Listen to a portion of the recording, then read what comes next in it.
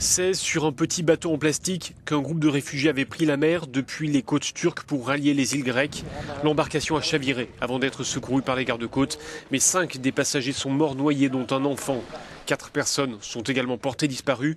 Les autres passagers ont été pris en charge et conduits sur l'île de Samos.